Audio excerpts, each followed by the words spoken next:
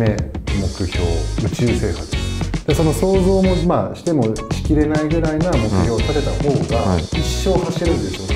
う、まあでも最近あこういう生き方面白いなって思ってるのがあって、うん。自分でも想像しなかった未来をその行動に移すことを意識してるんですよ。やっぱイメージしてましたね。その時は YouTuber なんて言葉もなかったんでただ漠然とでもそうなるっていうイメージを常にしてまし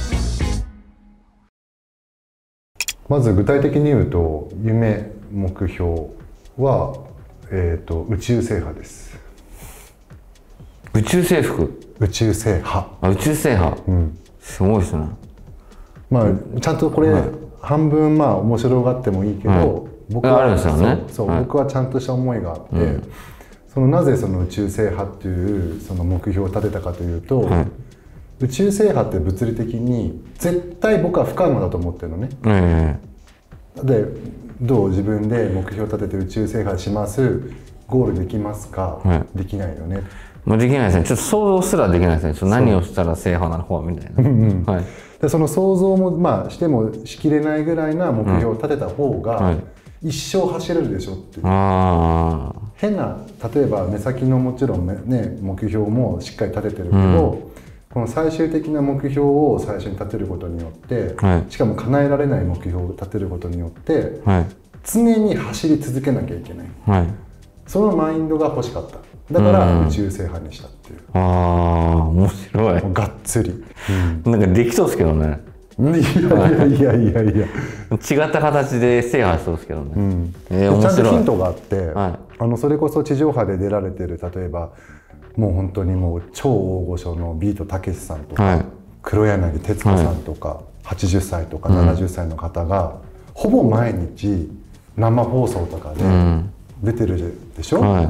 それはまずヒントになって、なんでこの人たちはこの年になっても仕事をしてるのかなって、はいああ確かに思いますね。そう。あの本当にまだ若い時はそれはもう目標を決めたのが30ぐらいまあちょうど今のプロタンぐらいの年で、はい。この年頃の時はいや別にお金もあるし、はい。ね、別に生活に支障が出ないわけでしょ、仕事しなくても、そうですね。うん、普通にこうゆっくりした生活、まあ、いわゆるリタイアだよね。はい。リタイア普通にしてあのそういう生活を送れればいいんだなっていう考えは当時はあったの。はい。でもお二方のこうテレビ見た時にはい。ふと思って、これって好きだからうん。仕事をしてるんだと思った時に、はい。そこで初めてまず仕事が趣味になってえでそのこう何でもその時がその時思ったのがこう何でも最初に、えー、と楽しくうん。例えば仕事をするとか、はい。楽しくトレーニングをするとか楽しく友達と遊ぶとか、はい。とにかくもう楽しくっていうところをもうつけられたのそれで、はい。そうそこで相当あの、まあ、人生観が変わったというかはい。なのでかなりあのいい目標は立てられたえー、すごいですねそれ、うん。結構深いでしょ。深いですね宇宙制覇ちょっと、すみません。ちょっと小バカにちょっとしてたんですけど 聞く前に。うん、っていうような話があってねいや面白いですね。そえまさかその寺尾社長が宇宙制覇えー、奥深いですね。なんかある、あ僕の目標ですか、うん、目標か。それは別に中ああの中長期でもまあそうですよね。まあでも最近、まあ、目標とはちょっと違うんですけど、ん。あこういう生き方面白いなって思ってるのがあって、うん。例えば買い物に行くじゃないですか。けどうん。で買い物に行く時って何かを買うって決めてると思うんですよ。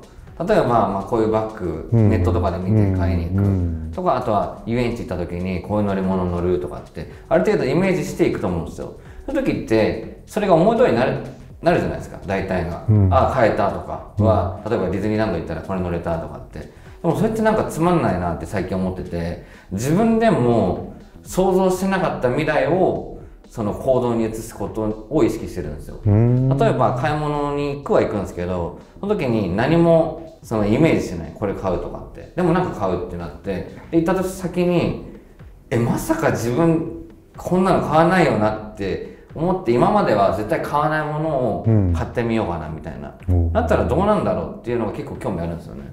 で大体それやって分かったのはあなんか例えばすげえ似合ってるとかあなんか変わった自分にまた気づけたとか、うんなんかひらめきとかいろんな新しい自分を発見できるんですよ。うん。だから例えば帰り道とかも普段もうルーティンになってると思うんですよね今の時代って。ルーティンって好きじゃないですかみんな、うん。うんそれを打ち破って、まあ、常識打ち破るじゃないですけど日常違った道で帰ったりとか。なるほど。あと最近僕はもう電車とか使うようにしてるんですよ。もう絶対電車とか乗んないだろうなと思ったんですけど、うんうん。あえて電車乗ってみたりとか、うん。で乗ってみるとなんかその時に乗った人とかうわやべえ人いるなとか。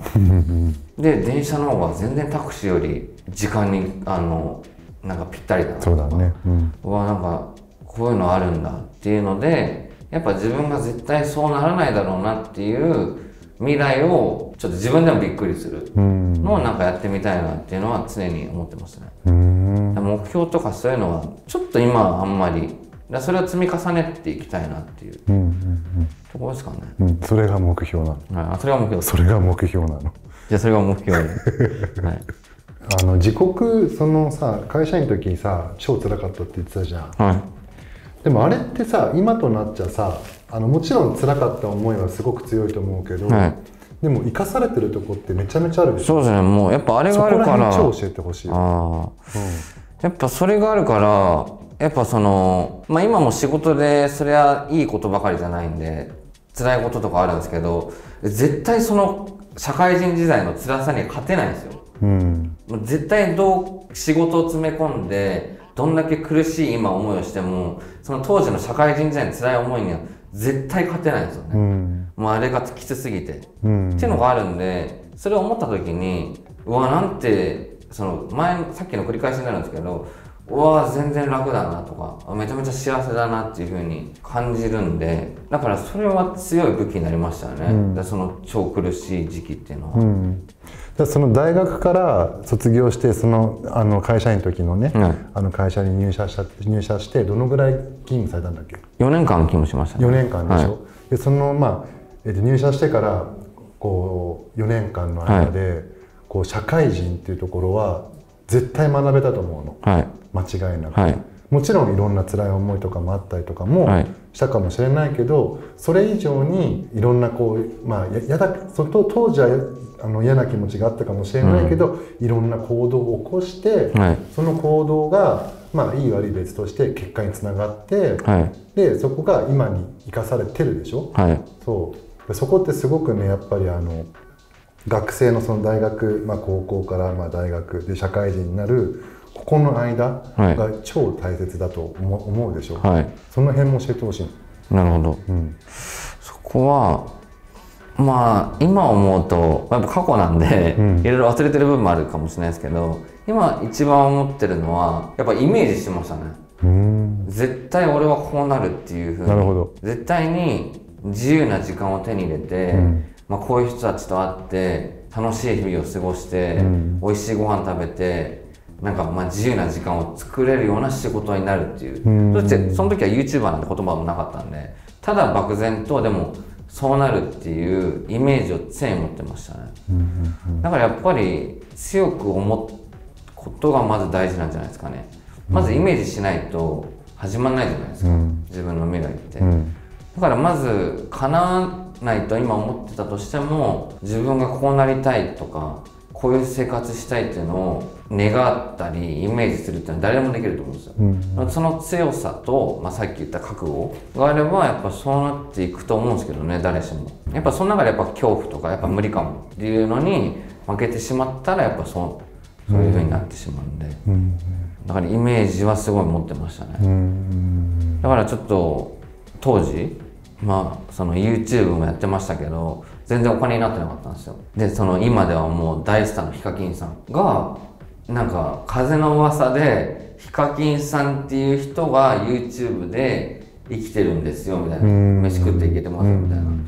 えっと思ってそんなことあるの？っていうのとあと身近で知人がその YouTube で食い始めたんですよ。あ仕事になってきたんですよ。で月何十万稼いでるみたいな。なるほど。でヒカキンさんは知らなかったんでその人は僕身近でしてたから、えあの人がってなった時によりイメージが強く湧いたんですよ。うん。うわ絶対これ自分もいけるわっていう。うん。でなってたらやっぱそういろいろ積み重なってなってったんで、うん。やっぱイメージは大事かなっていう。うんうん。そのやっぱ身近にそういうまあ参考になれるよううなん方がいたからよかったね。そうですね。より強くイメージ持てましたね、うん。イメージと行動に移せましたうね、ん。確かにそうだ。確かにイメージもこう、うん。そうだね。イメージをして行動を取るのってすごくね、まあ、シンプルですけど、まずはイメージかなって僕は、こうなりたいっていうのをより人よりも強く思う。なるほど。そして絶対なるっていう落とし込む。うん。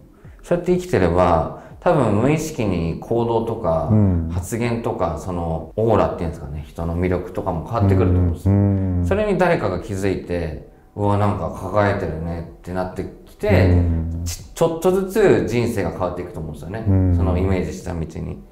だからまず本当に信じきって自分をうん。イメージするのがまず一個かなっていう